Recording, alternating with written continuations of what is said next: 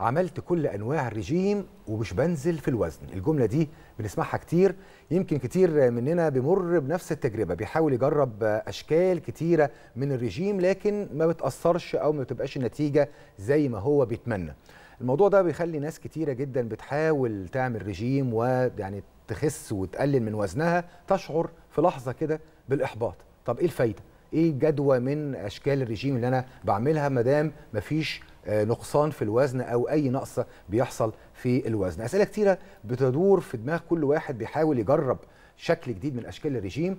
إيه اللي ممكن يساعدني في ده؟ هل في امراض معينة ممكن بتوقف القدرة على حرق الدهون زي الغدة الدرقية أو القولون أو السكري؟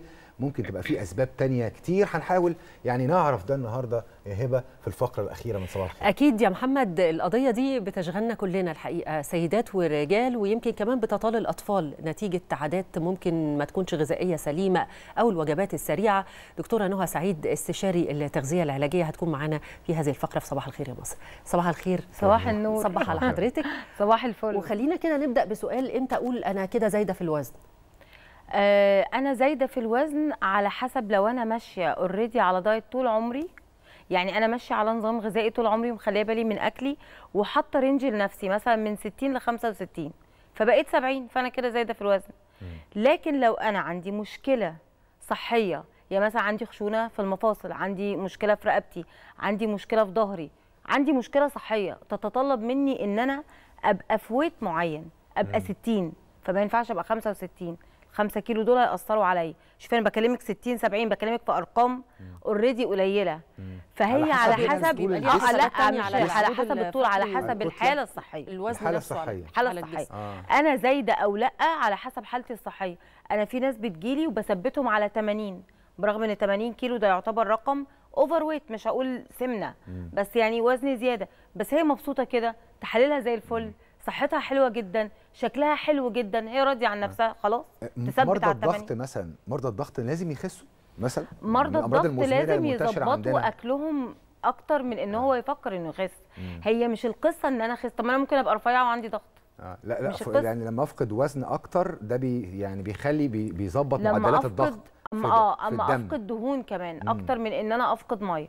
لأن كمان أغلب أدوية الضغط بتبقى هي حاجة اسمها water retention يعني بتنزل مية زيادة من الجسم فبيبقى النزول ممكن يبقى نزول مية أو نزول عضل وده إحنا بنسميه إن أنا كده خدت من صحتك. لما أنزلك مية وعضل يبقى أنا كده خدت من صحتك. لما أنزلك دهون يبقى أنا كده بحافظ على صحتك أو بظبط لك صحتك. طيب ده اللي فيه قياسات كتلة ال- الجسم. آه طبعاً ده بقى لو حد- الوزن المثالي وإزاي بتقيسيها؟ على حسب بقى الانبادي على حسب لو أنت عندك مثلا لو أنت هتقفي على جهاز فات كومبوزيشن بيطلع لي تحليل للجسم كله.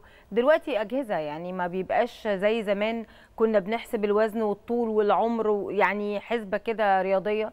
دلوقتي عند أغلب المراكز أو كمان الصيدليات النوادي الجيمات كل الأماكن دلوقتي بقى فيها لو حتى مش جايبين InBody عالي يعني حاجة smart أو حاجة عالية آه، ممكن بيجيبوا حاجة كده بسيطة اسمها fat composition بتطلع لي التحاليل إلى حد ما نقول بنسبة 70 80% مظبوط. تحليل لل- للعضلات وللدهون آه الدهون والعضل والمية والمعادن. آه، طبعا مش بتجيب الفيتامينات الفيتامينات دي لازم دم. آه نسبة الدهون الحشوية نسبة الدهون الخارجية نسبة الدهون الداخلية. آه نسبة الدهون في الأطراف. بيطلع لي كل حاجة. العظم. بيطلع لي كل بعد ما أعرفها بعمل إيه؟ بيتحدد بقى لو انت مثلا عندك وزن زيادة بس عندك مشكلة في العظم. يبقى حضرتك لازم تعملي تحليل دم عشان أنا مش هينفع أبدأ معاكي diet. من صحيح. غير ما أشوف. باقي ال minerals. ما هو العظم دوت عبارة عن إيه؟ كالسيوم فيتامين د أملاح معدنية بوتاسيوم صح؟ فدي معادن. فلازم أعمل لك تحليل المعادن. لما أعمل لك تحليل المعادن أشوف إيه اللي واقع أظبطه في أكلي. لو الدنيا هتبقى مظبوطة معاكي تمام كأكل بس انت مش محتاجة supplement أي حاجة يعني مكملات غذائية. مكملات. غذائية أو أي حاجة. من بره.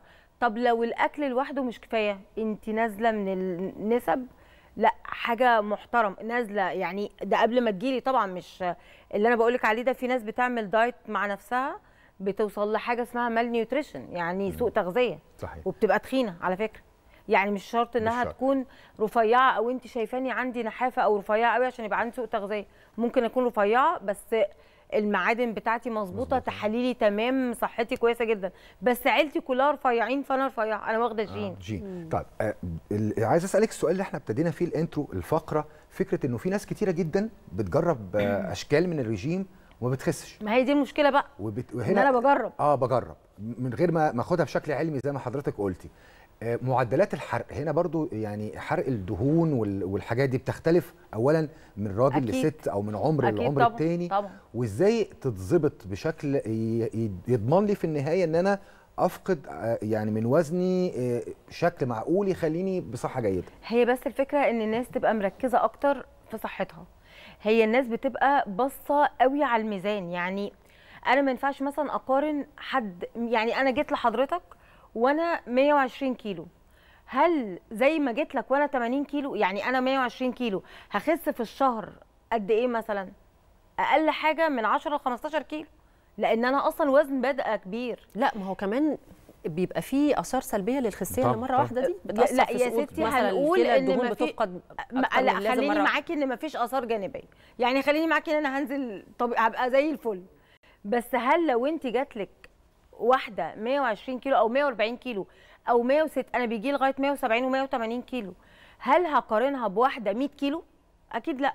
هل هقارنها بواحدة 80 كيلو؟ أكيد لأ. هل هقارنها بواحدة 60 كيلو وعايزة تنزل تبقى 50 مثلا؟ لأ. دي أكيد هتنزل في الشهر من 10 ل 15 كيلو. دي هتنزل في الشهر من 8 ل 10 كيلو دي هتنزل في الشهر من 6 ل 8 كيلو دي هتنزل في الشهر 4 كيلو. ما هو أنا نفس الدكتور على فكرة اللي كاتبة نفس العلاج اللي كاتبة نفس الورقة اللي كاتبة نفس النظام. هي الفكرة انت بادئة بكام؟ ما ينفعش أنا وانت عاملين دايت أنا وانت نخس زي بعض لأ انت أقل مني. فطبيعي استجابة أنا هخس أكتر منك. في الأول. ده طب ده طبيعي يعني ده طبيعي بس ده الناس مش بتبقى فاهماه. فلازم تقعدي تفهمي اللي قدامك. دي حاجة. حاجة تانية أنا طول عمري بعمل دايت. هل هبقى أنا زيك مثلا؟ انت أول مرة تعملي دايت؟ لأ طبعا. لأن انت أكيد هتخسي أكتر مني. لسه حرقك شغال. أنا جسمي عارف كل الأنظمة تقريبا. فلازم أمشي على نظام يناسبني أنا. بغض النظر النظام ده هينزلني بسرعة ولا لأ ما أنا ممكن اديكي نظام كيميائي ينزلك 10 كيلو في 10 أيام. زي دلوقتي في ترند جديد اللي هو نظام ال- الكوري اسمه ال- الدايت الكوري. 10 كيلو في 10 أيام. اتفرجي على نفسك بعد ال 10 أيام أصلا. هتردي تاني. لأ هو اتفرجي على نفسك أثناء ال 10 أيام وانت مش هتعرفي تشتغلي أبسط حاجة. صحه الصحة. آه. بالظبط مفيش هوقعك في ال 10 أيام بس هو. دايما كمان بيتقال إن اللي بينزل على فترة طويلة مش بيرجع تاني بسهولة. لأنه بينزل دهون. وهو ده اللي أنا قلته لك في أول الكلام الخلايا. الدهنية نفسها بت... الخلايا الدهنية بتقل في بتنزل. الجسم أو بتتخلص من استحالة. الجسم استحالة الدهون اللي بقالها خمس ست سبع عشر سنين تنزل في شهر هل هل في سن معين بيبقى فيه سرعة معدل حرق لا، لا،؟ لا. يعني مثلا بعد ال 40 بيبقى الموضوع صعب لا، شوية على الراجل أو الموضوع- الست لا. ولا في أي سن لا لا لا في أي سن أنا عندي ناس 60 سنة و70 سنة الله أكبر خاسين أحسن من ناس 18 سنة و20 مش سنة مرتبطة بالسن جزء منها مرتبط بالسن بس انت بتتكلم في 20% لكن عندك 80% ملوش علاقة بالسن. 80% ليه علاقة بالعادات الصحية الصح. بإن إحنا بننام بدري ونقوم بدري بنشرب مية كفاية بنعمل تمارين تنفس آه بتمشى. صحتي النفسية كويسة. مش طول الوقت متوترة فال cortisol level عالي فأنا طول الوقت هرموناتي ملخبطة فأنا صح ولا لأ؟ الرياضة مهمة كمان مهما جداً. مهما اخترت نظام غذائي مناسب ليا ولجسمي كل حاجة من غير رياضة كأني ما عملتش حاجة. بص هو خلينا بس نتكلم لو هنتكلم بقى بشكل علمي عشان إحنا بنتكلم دلوقتي على الدهون فهي الرياضة ملهاش علاقة قوي بالدهون. يعني الرياضة بتظبط لك عضلاتك بتظبط لك حالتك النفسية بتظبط لك مودك بتظبط لك حرقك اللي على المدى. بيزود الحرق. بيزود الحرق اللي على الحرق. المدى. ما هو على المدى بقى. لكن أنا مثلا عندي concern طبي أو أنا عايزه أخس دلوقتي أو عايزه أخس بسرعة. لا هو ده بستخدم حاجات خاصة بالدهون أكتر. لكن ده ما يمنعش ابدا وما يقللش إن الرياضة حاجة مهمة جدا للبني آدمين. إن إحنا حتى أبسط حاجة نمشي. أنا مش قادرة أمشي الدورة أعمل معدلات أعمل تمارين. التنفس في البيت. ممكن وأنا قاعدة بتكلم معاكي كده لو إحنا واخدين بريك ربع ساعة زي ما قعدنا الأول هحط إيدي على بطني أبدأ أعمل تمارين تنفس. هتبقى ربع ساعة مش مش وقت ومش كتير. بس هي هتنفعني بعد كده هتفيدني في حياتي بعد كده. لكن عشان أفقد دهون لأ. محتاجة إن أنا آه، أعمل آه، مثلا أجهزة لاذابه الدهون أعمل دايت فترة آخد حاجات تعلي الحرق. لو أنا حرقي مش شغال زي ما حضرتك قلت في أول ال- الحلقة إن في حاجات كتير بتخلي إن الواحد ماشي على دايت ومظبوط وكل حاجة بس حرقه مش أدوية شغال. التخسيس. أدوية التخسيس بقى فيها شقين مضار ومنافع. آه. فيها شقين هي عاملة كده. قوليها لنا بقى. أدوية التخسيس. في أدوية حلوة جدا ومرخصة وزارة الصحة عالميه اف دي اي مرخصة وزارة صحه مصرية وبتبقى معتمدة وبتعلي فعلا معدلات الحرق وبتبقى مكوناتها كلها طبيعية. آه قهوة خضراء شاي أخضر قرفة جنزبيل جارسينيا حتى لو الأعشاب. هي مستوردة من بره بس بتبقى داخلة بلدنا مرخصة وتبع شركات كبيرة وطبيعية وما فيهاش آثار جانبية خالص. في نوع تاني ده بقى اللي بيبقى فيه مشاكل ده اللي ما بيبقى ده اللي مجهول المصدر. إحنا مش عارفينه. معمول بقى هنا معمول بره وجايين لنا معمول عند حد قاعد اتنين صحاب بيظبطوا مع بعض.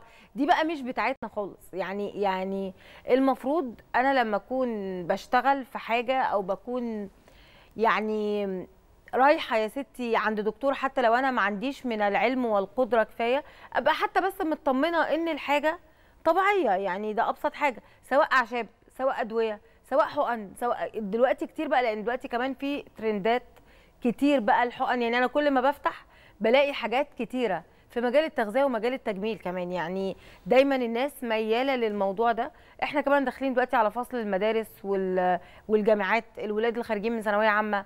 أغلبهم دنيتهم مش مظبطة جسمهم مش مظبط. لكن مش مضرة؟ الجسم مثلا مش بياخد عليها وبعد كده إن هو يعني اللي هي لها إيه؟ لو هي طبيعية؟ فما لا لا؟ لا, لا, لا لأن انت الدواء أصلا انت بتاخديه فترة. يعني انت ما بتاخديش الدواء طول عمرك. الدواء أو الحقن أو ال- أو الأعشاب أو ايا كان هو ما فيش حد عايش عليها. جميل. أنا باخدها فترة. خسيت بس أبقى واخدة الموضوع جد. يعني أنا مثلا إيه؟ هعمل diet مثلا ست شهور. فأنا ماشية ست شهور diet. وعلاج وعلى حسب حالتي. ما أنا ممكن حالتي ما تستدعيش إن آخد حاجة للحرق. يكون حرقي تمام ويكون صحتي تمام ودنيتي تمام. مش عايزة حاجة تسد النفس. أنا هعرف أعمل control لكن لو أنا مش قادرة أعمل control يبقى أنا محتاجة حاجة تساعدني. صح ولا لأ؟ بس. دكتوره نهى من الحاجات اللي بنشوفها كتير في بيوت مصرية في بيوتنا الأكلات السريعة ال fast food الوجبات وللأسف الأجيال الجديدة متعودة بشكل أيوه أنا بعاني. ادمان والأجيال القديمة برضو إحنا بنتعلم من ولادنا وبنقلدهم. بيبوظونا بالظبط. بيبوظونا من الحب إزاي أظبط المسألة دي؟ وهل لما أدخل في أي ريجيم لازم امنعها تماما ولا ممكن يبقى فيه جزء من؟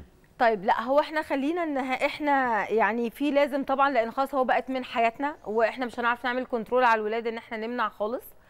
بس نخليها مقننة. يعني مقننة يعني إيه؟ يعني أقل القليل. يعني مثلا أنا بشوف مثلا ناس آه، أو الولاد اللي بيجوا لي مثلا بيتابعوا معايا سواء اللي عندهم مقاومة أنسولين أو سكر أو عندهم وزن زيادة أو عندهم كمان على فكرة سوء تغذية بيبقوا مستنيين اليوم ال free ليه؟ عشان ناكل بقى أنا مش عايزة أقول حاجات عشان باليوم ال free أول.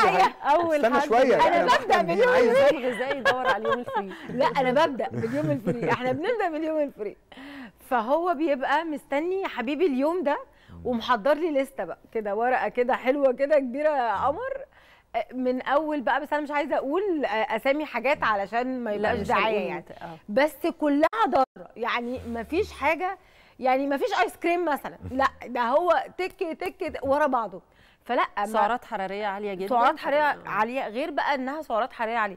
طبعا نسبة مصنعات طب- وألوان طب. صناعية ومواد حافظة تدمر الجهاز المناعي تدمر مخه أصلا. يعني أنت داخلة تدمري اللي. قدامك. فطبعا ما أقدرش أمنع 30 بند. فبخلي إيه؟ بسمح ببند أو اتنين. جميل. المرة اللي بعديها بيبقى بغير مثلا.